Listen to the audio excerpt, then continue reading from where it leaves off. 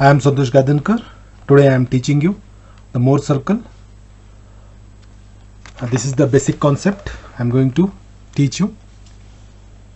This is referred as a clockwise direction. If the arrow is moving this direction, we will consider as a clockwise. If the arrow moves in this direction, I am considering only this arrow. We consider as a anti-clockwise. Or if the diagram shows in this way, it is clockwise. If the diagram shows in this way, it is called anti-clockwise. Now, this uh, this pattern we are tensile we referred as a tensile, and this pattern we are referred as a compressive. Now, this is the basic uh, diagram. From this diagram, I have arrived the different formulas. Now, this diagram there is an oblique plane makes an angle theta with HP or horizontal plane or x-axis. We call it the x-axis. Every time I will convert VP into horizontal plane. VP into horizontal plane. If there is an angle here, 45, if 45 here, then I will convert into HP. 90 minus 45, again it will be 45. This is the basic pattern I will follow in order to solve the analytical problem. Now first, I have taken a problem. This is the problem. I have taken it here. It is a compressive nature. The arrow is towards here. It's compressive. I will consider here sigma x tau xy. Sigma x is nothing but 300. It is compressive. 300 minus tau xy. It is rotating. Which direction? Counterclockwise. See, this is the diagram I am referring here. This is the diagram. It is a counterclockwise. Therefore, I have to consider minus sign. I will consider minus sign. That is minus 100. Minus 100. This is for the analytical method. And this is here sigma y tau xy. Tau xy. This is a tensile in nature. Therefore, you have to write 200. The arrow is rotating in clockwise direction. You have to refer this arrow. If this arrow we call anti-clockwise, therefore you are considered 100. If it's arrow rotating in this direction, you have to consider positive. Positive what? 100. But in solving, these two are used in graphical method. But in solving the analytical method, you have to use only this part. This is a very important part.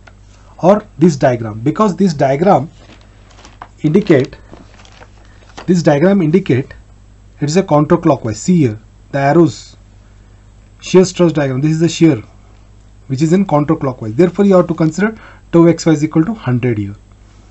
If it is in this way, you have to take positive. In the case of analytical, but in the case of graphical, you have to take in this way. Referred as a minus and this referred as a positive. Okay, but I am first I will solve the analytical method. Therefore, I will consider based on diagram. I will consider 2x is equal to 100 minus 100. Now minus 100. Now what is theta here? The theta is on HP or x-axis. It is an x-axis. It is HP and theta is nothing but 30 degree. It is moving clockwise direction. See here, this HP is moving clockwise direction because the arrow is connected here. HP is clockwise direction. Now theta is 30 degree. I will substitute theta is equal to 30 and tau xy is equal to minus 100. Please don't consider this one. This can be used only in the graphical case. But in the analytical method, only you have to consider this part or the diagram you have to consider.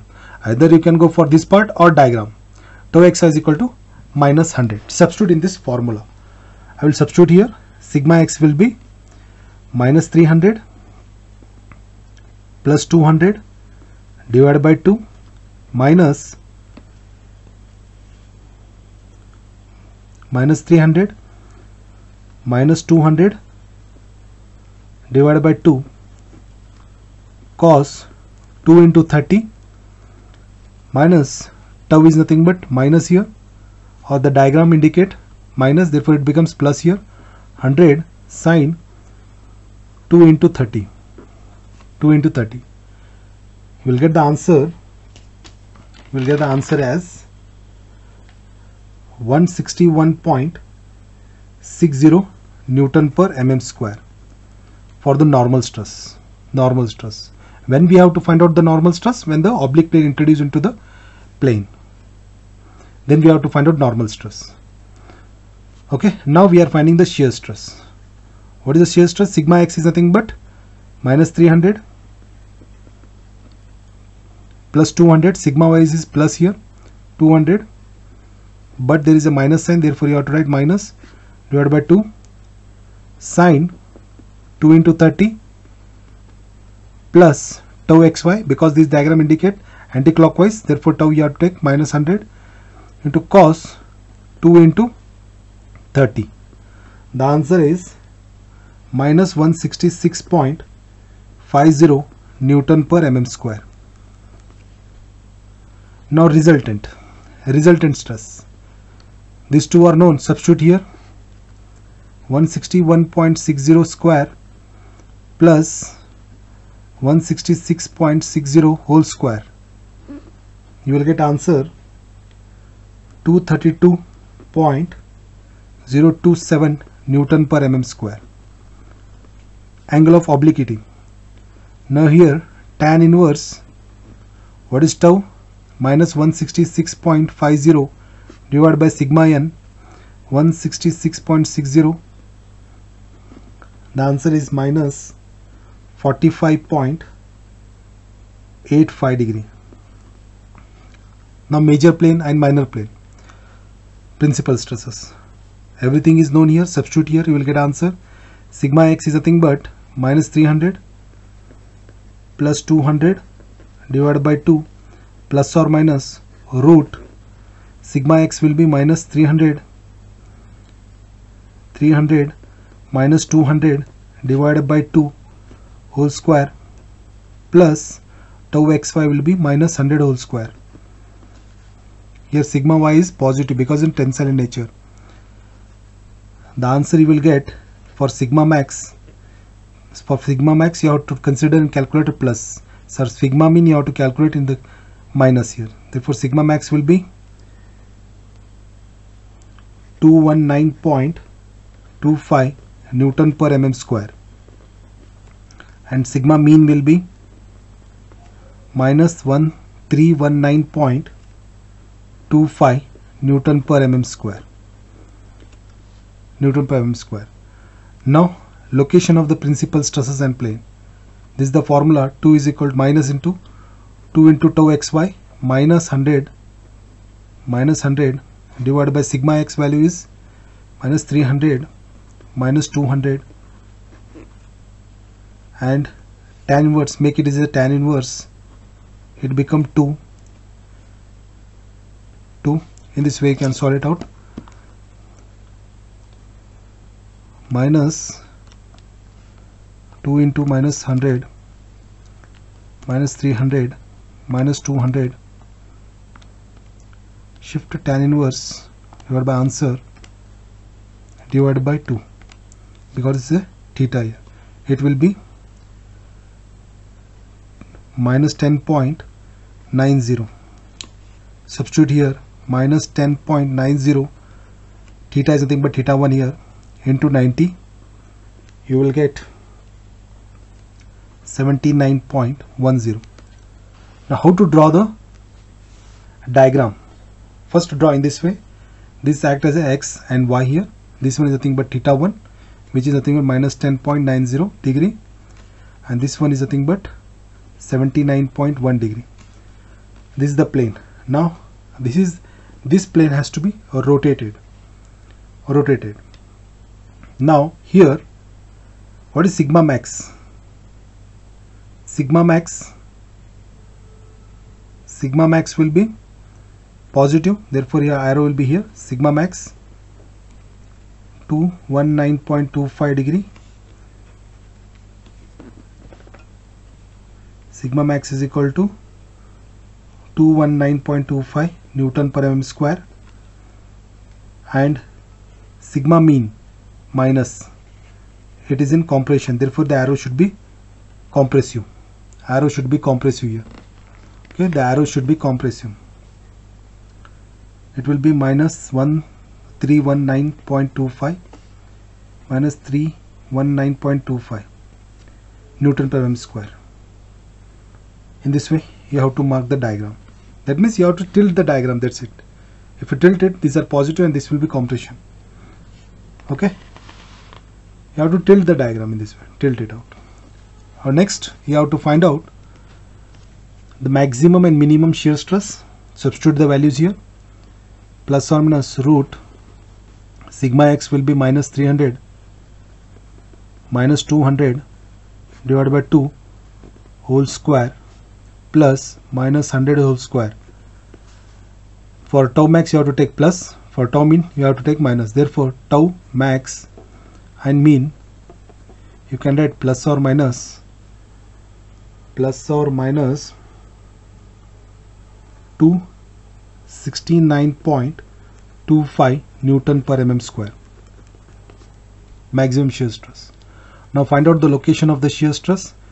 Theta 1 is already known minus 10.90 plus 45. These are the formula which is fixed. You have to memorize that part. 34.1 degree minus 10.90 plus 135. This will be 124.1 but in drawing the Mohr circle this theta will be twice. That's the concept of the Mohr circle. Okay? Now first next you have to find out normal stresses on maximum minimum. That means you have to find out the average stresses. Sigma max is we know that the sigma max value is sigma max value is 219.25 minus 319.25 divided by 2 answer is answer is minus 50 newton per mm square. Now we are going to tilt this diagram in this way. The first because of minus the arrow should be in this way. Because of this minus. We call as average. Average. Sigma average. Sigma average. Now how to draw this part if the arrow is here upward draw the arrow opposite direction. Once you get the next arrow if this arrow draw this arrow in this towards this part. Next opposite of this part. Towards this part. In this way you have to solve. Now theta 3 is nothing but 34.1 degree and theta 4 will be 124.1 degree. In this way you have to solve the analytical method. Now I'm going for the graphical method graphical method I will go for it graphical method. This is a diagram I will use. I will consider the scale here. Scale 1 centimeter is equal to 50 Newton per mm square. Now this is the x. Sigma x will be sigma x I'm going to consider here. Sigma x that is 300 divided by 50 is nothing but 6 centimeter next is about 100 100 divided by 50 is nothing but 2 meter. 2 centimeter. Next sigma y. This is sigma x. Tau xy sigma y will be 200 divided by 50 4 meter. 4 centimeter. 4 centimeter. Now we'll draw a diagram for this part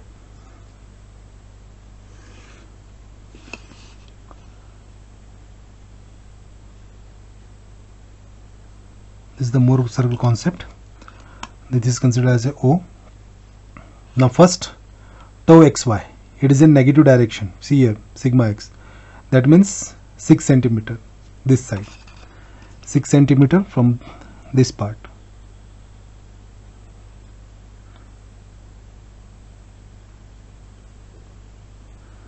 This is 6 centimeter. 6 centimeter I will consider as a sigma x. It is minus, therefore I have taken as a minus 6 centimeter. And tau xy is 100. 100 is nothing but 2 meter bottom because it is a minus sign. This referred as a, this part referred as a, this is nothing but tau and this is nothing but sigma. Bottom is nothing but 2 centimeter. 2 tau xy. Minus and minus. You can consider minus minus or you can give for the naming also. No problem. Next sigma y is 200 that is 4 centimeter from O. It is positive side and this will be negative side. I'm going for the positive side. 4 centimeter.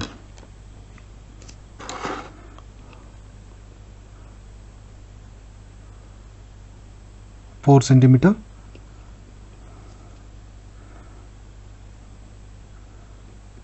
is a 4 and tau x will be 100 that is 2 centimeter upward.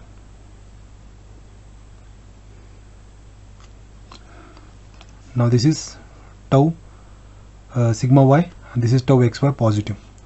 First it is 300 negative side 100 bottom.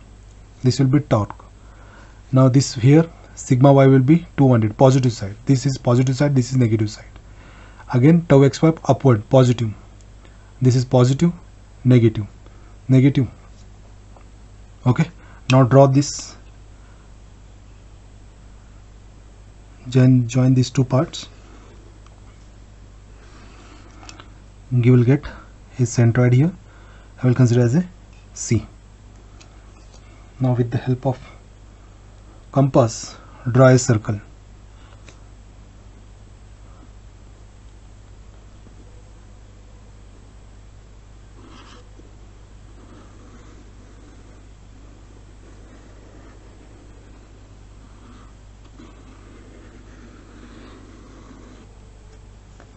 after getting this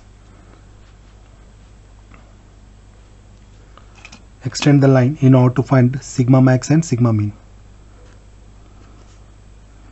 now this act as a sigma max this act as a sigma max from O to periphery of this one and this act as a sigma mean from O to this periphery we act as a sigma mean. Every time if it is a positive then you have to take as sigma max. If it is a negative you have to take as a sigma mean. If both are negative if both are negative you have to select near to this O line if both are negative. For example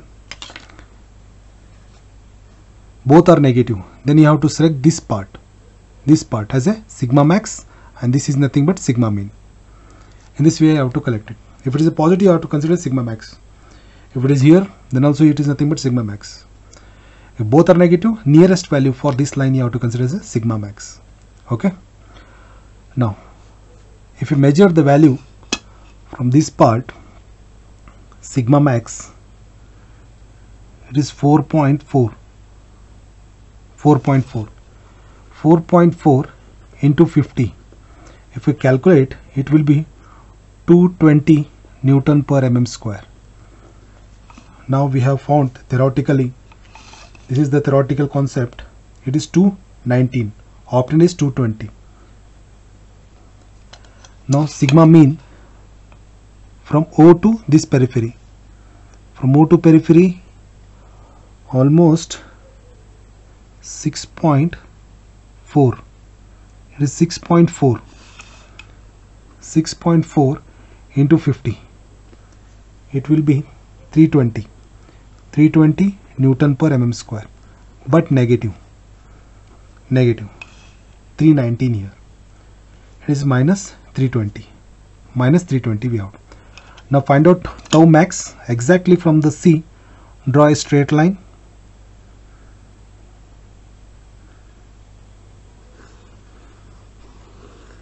This is tau max.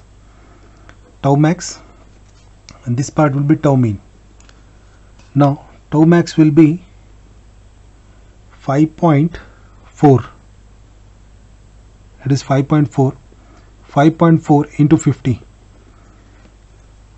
the answer is 270 Newton per mm square.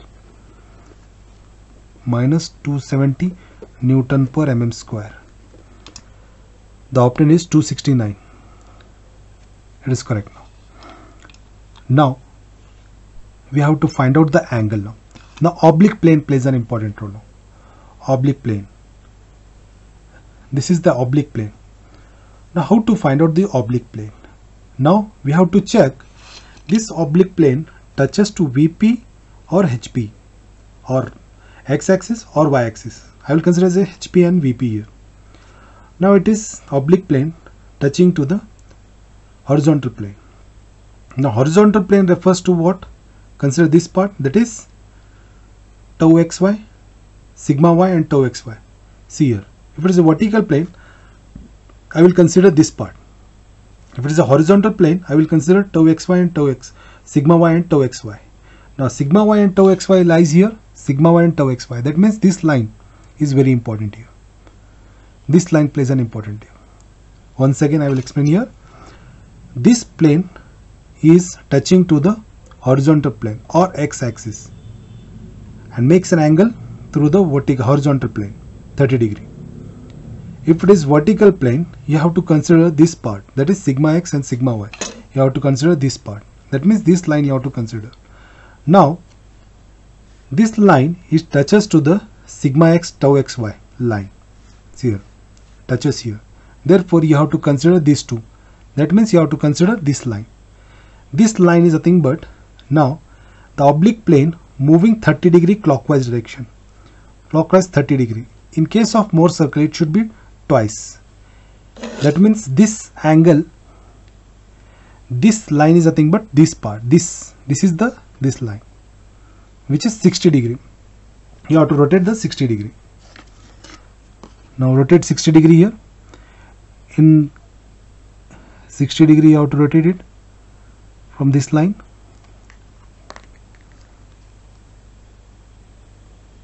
Sixty degree. From C, it is sixty degree,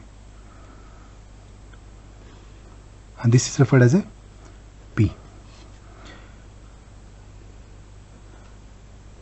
Two theta is nothing but sixty degree. If it is thirty, you will become sixty degree. Once again, I am going to explain this part here. This line is touches to the tau xy line. See here, this plane and this plane. That is vertical horizontal plane or x-axis plane. Therefore, the x-axis plane is nothing but tau xy. This is the tau xy. Tau xy. Then you have to consider this line. This line. Now, whether I have to move this clockwise or anti-clockwise based on here because this line is moving from HP to in this way it moves. That is it moving clockwise direction.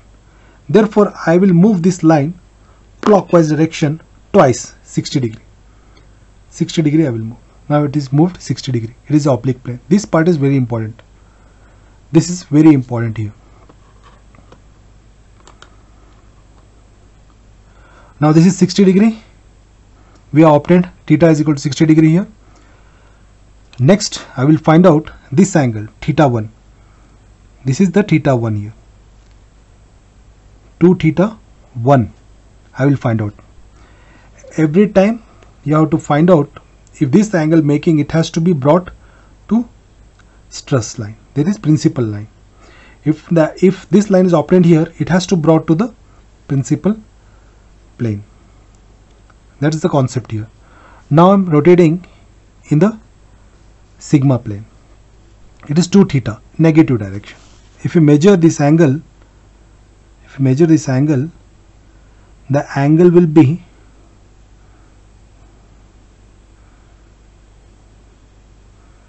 the angle is 22 degree. 22 degree. 22 degree. That means theta will be what? Theta 1 is nothing but 22 divided by 2 is nothing but 11 degree. But we obtained the angle is minus minus 10.90 it is minus here because it is rotating anti-clockwise. Anti-clockwise we have to consider minus here minus 10 minus 10 this will be minus 11 degree. Rotating anti-clockwise. If it is rotating to the upward we have to consider positive. Here it is minus 10.90 minus 11 here. Similarly we have obtained theta 1 in order to find out theta 2 you have to move from this line to the sigma value. For theta 1 this part you have to bring to this part near to this stress line principal plane. In order to obtain theta 2 from this part to this part sorry from this part to this part from this part to this part. The value will be 2 theta 2 is nothing but 180 minus this value 22 I'm taking this part 22 then it will be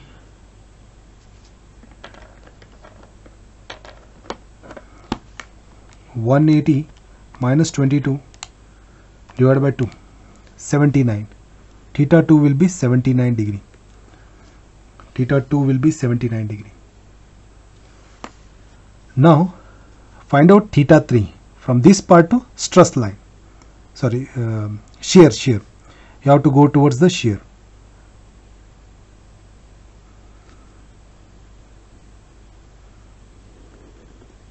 Towards the shear. This is nothing but 2 theta 3 that is 90 minus this value 22 90 minus 22 divided by 2 34 34 degree. Now see here it is 34 degree. Similarly from this part to shear from this here up to here you have to rotate. That is t 2 theta 4 is nothing but uh, 270 minus 22 270 minus 22 divided by 2 is nothing but 124 the theta 4 will be 124 degree. 124 degree. 124 degree. After getting the angle we have to find out sigma n value from P draw a vertical line towards here this is nothing, nothing but q. This is nothing but q. Now you have to measure from o to o to q value which is nothing but sigma n value. From o to q from o to q 3.2 approximate 3.2 3.2 into 50 is nothing but 160 Newton per mm square. 161 we got 160 Newton per mm square. Similarly sigma n value. Now QP referred as a tau value. Measured the QP value tau it is 3.4 if you measure exactly it will be 3.3 3.3 into 50 which is nothing but minus 165 Newton per mm square. Why it is minus? Because it is lies in bottom side. Minus 165.5 Newton per mm square. The obtained is 166.50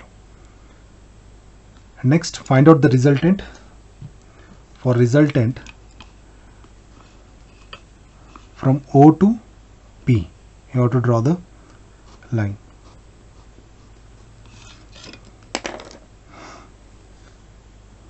OP you have to measure the value. 4.6 4.7 4.7 into 50 235 Newton per mm square. That is nothing but sigma sigma r. What is sigma r here? The obtained sigma r value is 232.0 it is 235 next you have to find out angle here phi angle. Angle should be from this part. This is the angle we call as a phi. Phi angle. Measure it if we measure the angle it will be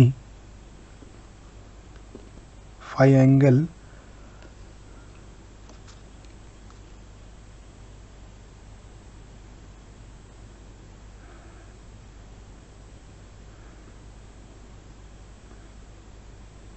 45 the phi angle will be 45 the obtained is minus 45 minus because it is com coming downward. Therefore you have to consider minus here. It is minus and minus. In this way you have to solve the problem when the oblique plane is given. When the oblique plane is given. I am Santosh Gaidhankar.